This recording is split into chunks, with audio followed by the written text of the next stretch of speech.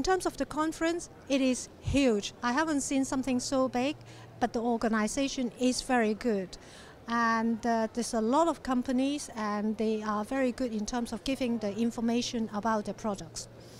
In terms of the conference itself, the, I think the scientific contents are very interesting and they cover all most aspects of dentistry. So it's good for different group of clinicians from specialists to maybe even undergraduate student going to be qualified. And I particularly like that some stands that some dental schools are uh, advocating their master or further training program so that uh, uh, students can start thinking where or what they want to specialize in.